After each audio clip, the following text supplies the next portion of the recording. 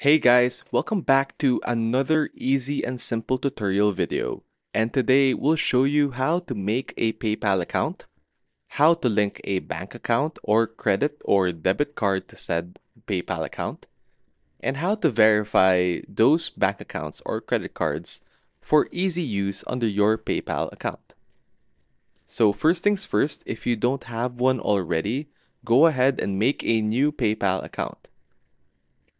For the purposes of this video, we'll be making a personal account. Once you've selected personal account, you can choose what kind of personal account you want. For now, let's choose individual seller or freelancer.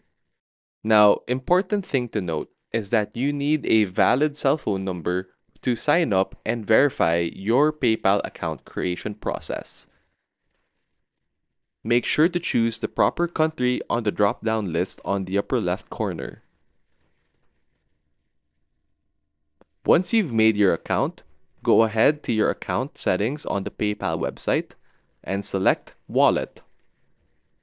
From here, you can add your bank account or any credit or debit card to your PayPal account.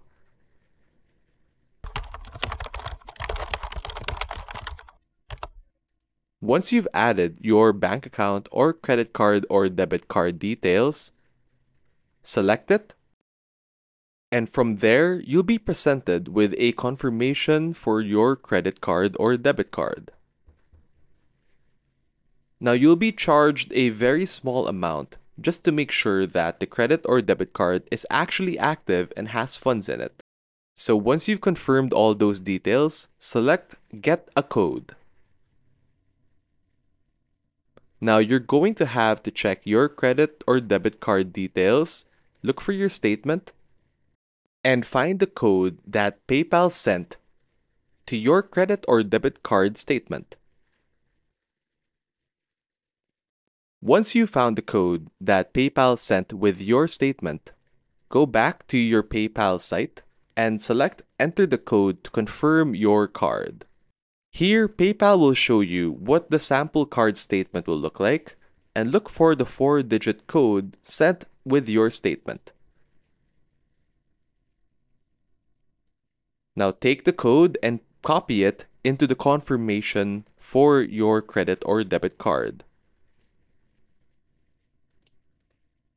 Once you've added the 4-digit code, select on Confirm to start the confirmation process. Do note that it may take some time before PayPal will send you your statement with the code to confirm your credit or debit card. This is why it's important to have a valid and verified mobile number to receive the code from PayPal. Don't worry about the charged amount because PayPal will reimburse you for the charged fee. This is really just to verify that you have a valid credit or debit card or an active bank account that you wish to link to your PayPal account. Once you've inputted the valid code, congratulations, you have now verified your credit or debit card or bank account to PayPal and can now freely use said card or account without any credit or debit limits. From your new wallet and your new verified accounts, you can click on Update Card to change any details on your credit or debit cards or your bank account. And that's really it. You now have a verified credit or debit card or a verified bank account linked to your PayPal account. And that's really all there is to it. If you have any other comments or inquiries, feel free to leave them down in a comment below. If you also enjoyed this content, feel free to leave a like and subscribe to this channel for more easy and quick tutorials. Thanks so much for watching, more to follow.